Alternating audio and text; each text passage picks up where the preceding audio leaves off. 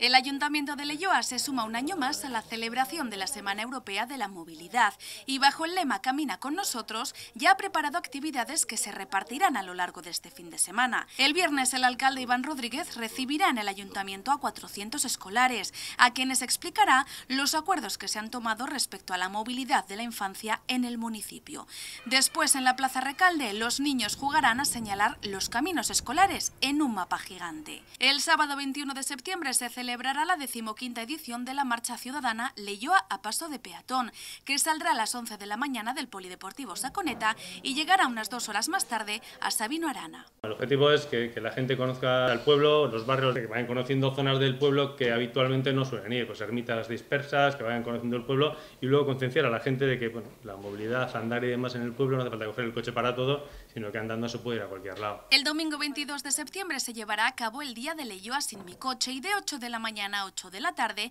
se cerrará al tráfico rodado un lateral de la zona del Boulevard de la Avanzada para destinar ese espacio a la ciudadanía, con talleres, exposiciones, erriquirolac y juegos relacionados con la movilidad. Además, junto a personal de Osakidecha se presentará el Metrominuto Visivideac, con un mapa desplegable de los caminos escolares, la distancia en tiempo de un punto a otro y los lugares de encuentro. Se han elaborado 5.000 desplegables, que además se repartirán en las revisiones médicas de los 10 años, para a los padres de la importancia de que los niños vayan a clase a pie y en grupo. El objetivo real, ¿cuál es? Pues fomentar un hábito de vida saludable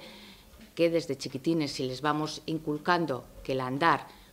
contribuye a su bienestar, pues eso que vamos logrando. Desde las asociaciones de padres y madres animan a que cada vez más niños se sumen a esta iniciativa de ir al colegio con amigos, porque aunque al principio puede costar darles libertad, al poco se ven los resultados positivos. Al tener puntos concretos de, unión, como ya vienen marcados, al principio les da un poco de reticencia, pero con el tiempo, a estas llamas vamos delegando esa responsabilidad en ellos, viendo que luego a la vuelta la respuesta es muy positiva y ellos se sienten mayores. Al principio hay reticencias, pero luego